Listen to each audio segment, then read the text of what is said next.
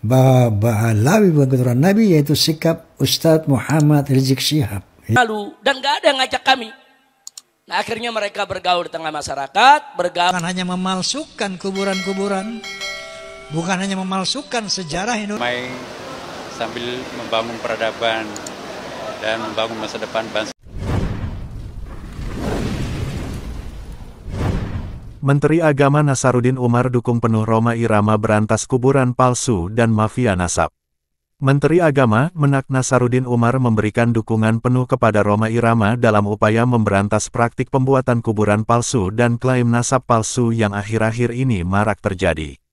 Roma Irama, yang dikenal sebagai Raja Dangdut dan juga seorang pendakwah, kembali muncul ke permukaan untuk meluruskan berbagai kesalahpahaman terkait nasab Nabi Muhammad SAW, yang sering kali diklaim secara tidak bertanggung jawab oleh beberapa pihak, termasuk oleh tokoh-tokoh seperti Habib Lutfi Yahya, Habib Rizik Syihab, dan Habib Bahar Smith.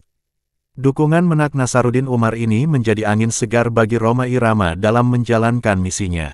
Secara genetika terbukti bahwa kaum Alawi. Iya, saya kira tidak jauh dari keseharian saya ya, bagaimana supaya kita ini Nasarudin menegaskan bahwa klaim nasab Nabi Muhammad SAW merupakan hal yang sakral dan tidak boleh dilakukan secara sembarangan. Nasab Nabi adalah hal yang sangat penting dan harus dijaga kesuciannya. Tidak boleh ada klaim yang tidak berdasar dan hanya bertujuan untuk kepentingan tertentu, tegas Nasarudin dalam sebuah konferensi pers. Roma Irama, yang selama ini dikenal lantang menyuarakan kebenaran, merasa prihatin dengan maraknya klaim nasab palsu yang dilakukan oleh beberapa pihak. Ia melihat bahwa praktik ini tidak hanya merusak kesucian nasab Nabi, tetapi juga berpotensi menimbulkan perpecahan dan konflik di tengah masyarakat. Klaim nasab palsu ini sering kali digunakan untuk tujuan politik dan kepentingan pribadi. Ini adalah tindakan yang sangat tidak bertanggung jawab dan harus dilawan, ujar Roma. Roma menunjuk Habib Rizik Syihab dan Habib Bahar Smith sebagai tokoh yang sering kali mengklaim nasab palsu dan menyebarkan informasi yang menyesatkan. Ia menilai bahwa tindakan mereka telah menimbulkan keresahan dan kegaduhan di tengah masyarakat.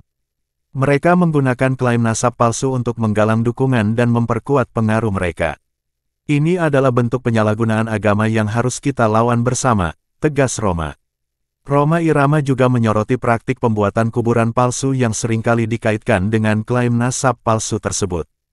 Ia menilai bahwa praktik ini merupakan tindakan yang tidak hanya menghina kesucian agama, tetapi juga dapat menimbulkan kerugian bagi masyarakat. Kuburan palsu ini sering kali dibangun untuk menarik perhatian dan mendapatkan keuntungan ekonomi. Ini adalah tindakan yang sangat tidak terpuji dan harus diberantas, kata Roma. Lebih lanjut, Roma menjelaskan bahwa untuk menentukan nasab seseorang, khususnya yang berkaitan dengan Nabi Muhammad SAW, diperlukan ilmu dan kajian yang mendalam.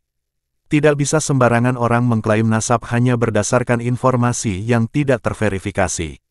Kita harus berhati-hati dalam menerima informasi terkait nasab. Jangan mudah percaya dengan klaim yang tidak memiliki bukti yang kuat, imbau Roma. Dukungan dari Menteri Agama Nasarudin Umar memberikan legitimasi bagi upaya Roma Irama dalam memberantas kuburan palsu dan mafia nasab. Nasarudin menyatakan bahwa Kementerian Agama akan bekerja sama dengan berbagai pihak, termasuk aparat penegak hukum, untuk menindak tegas para pelaku kejahatan tersebut. Kita akan melakukan investigasi dan penindakan terhadap semua pihak yang terbukti melakukan pembuatan kuburan palsu dan klaim nasab palsu, tegas Nasarudin.